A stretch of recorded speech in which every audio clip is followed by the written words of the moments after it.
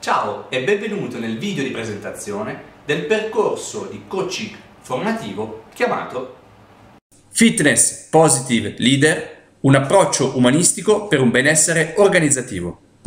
Prima di addentrarci negli argomenti è importante rispondere a due domande. La prima è perché si chiama percorso di coaching formativo? E la seconda, perché lo definiamo benessere organizzativo? Ora ve lo spiego. Viene definito percorso di coaching formativo in quanto non è un corso, ma è proprio un percorso che include tre step fondamentali. Il primo è la formazione, dove acquisirai nuove conoscenze personali e nuove competenze professionali. Il secondo step è l'allenamento, dove metterai in pratica quanto acquisito nei giorni formativi e lo svolgerai nella vita quotidiana. Il terzo step è il coaching, che è un incontro one to one con me dove valuteremo insieme i risultati che hai ottenuto e quali sono i progetti di sviluppo che vuoi attuare.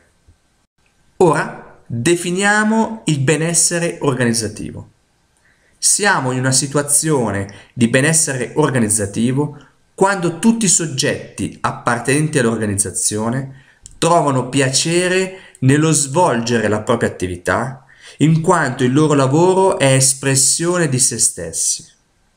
E questo fa sì allora che la leadership positiva è quella che permette, attraverso le sue relazioni produttive ed il valore d'uso dei suoi prodotti, la crescita del benessere di tutti i partecipanti alla relazione.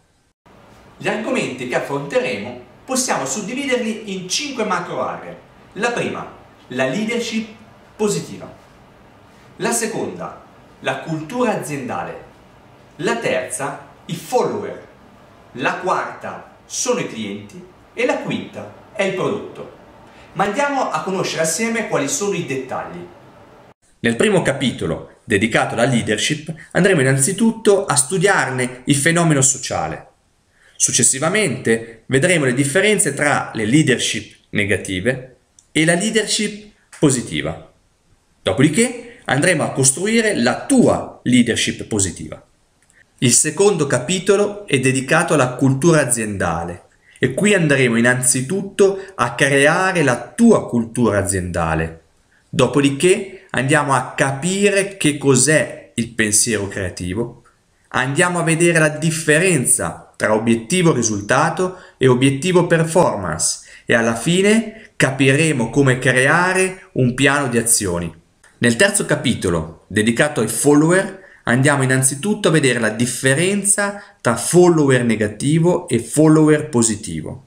Andiamo a studiare i 5 step relazionali e andiamo ad allenarci all'ascolto attivo.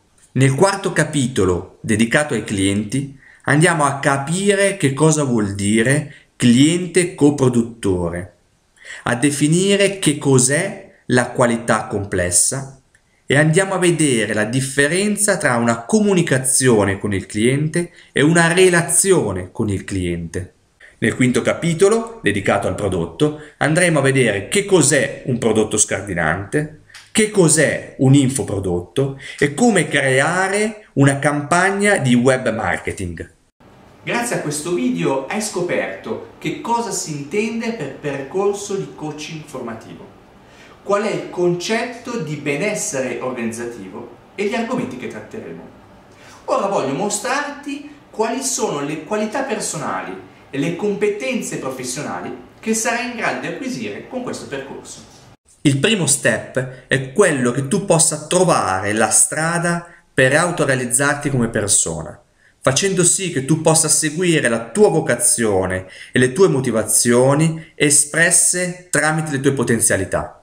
Il secondo step è quello di far sì che tu ti possa autorealizzare professionalmente. E questo verrà fatto creando la tua cultura aziendale che sarà lo specchio della tua vocazione, della tua motivazione e delle tue potenzialità nel sistema simbolico lavoro. Successivamente andrai a definire degli obiettivi performance e una strategia di azioni per raggiungerli. Il terzo e ultimo step è quello di poter acquisire le competenze per creare un benessere organizzativo. Ma non finisce qui, perché una volta concluso il percorso potrai allenarti nel tuo contesto lavorativo mettendo in pratica quanto hai acquisito, potrai così raccogliere feedback positivi, scoprire possibili ostacoli o ideare progetti di sviluppo. Bene, dopo 15 giorni di allenamento avrai a disposizione una sessione di coaching one-to-one con me, così da poter valutare quanto è accaduto e creare un progetto di sviluppo che punti all'eccellenza. Bene, quindi abbiamo definito che il Fitness Positive Leader è un percorso di coaching formativo suddiviso in tre step. Un primo step di formazione, un secondo step di allenamento e un terzo step di coaching. Gli argomenti che verranno trattati sono divisi in cinque macro aree, la leadership, la cultura, i follower, i clienti e il prodotto. Il risultato sarà quello di acquisire la strada per un'autorealizzazione personale e professionale ed acquisire le competenze per creare un benessere organizzativo.